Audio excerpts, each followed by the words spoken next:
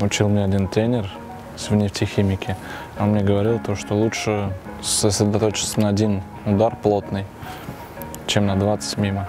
Олег Михайлович Нечаев.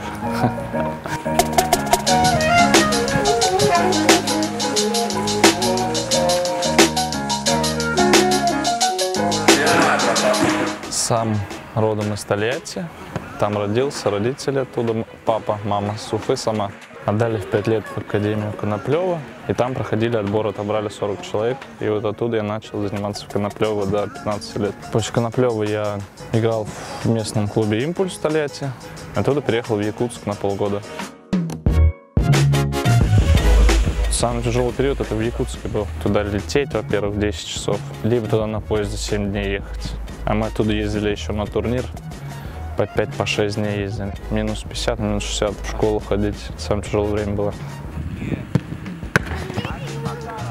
Из Якутска переехал в футбольный клуб Саранск. Из Саранска уже также перебрался на молодежное первенство в Оренбург. И после Оренбурга мой путь лежал как раз нефтехимик.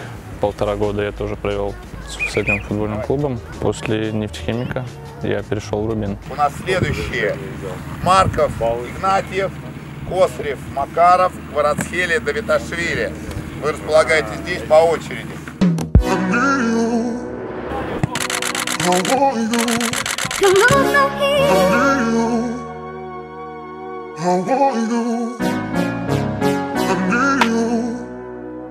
Постепенно со всеми общаюсь, вот с Олежкой Данченко, баскетболистом. Живу с Алексеем Гордовым. Нормально так общаемся. Постепенно. Постепенно, да, потихоньку со всеми знакомлюсь, общаюсь.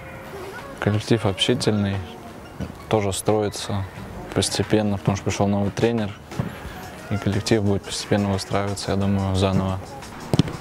Здорово, Макар. Макар колючий.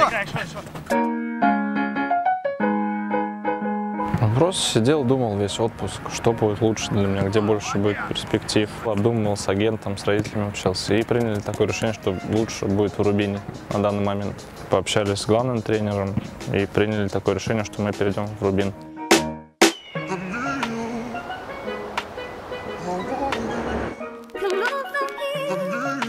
Я не могу назвать, мне говорят, что есть дриблинг, удар поворотом, ну и техника. Ну, так себе техника.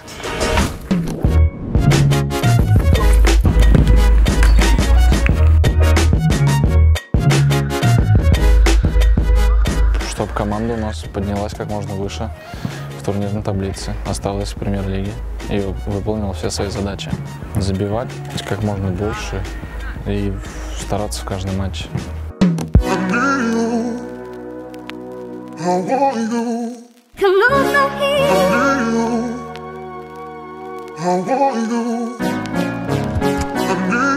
Надо подниматься и отдавать все силы, чтобы болельщики приходили, радовались, и клуб сам был доволен результатами.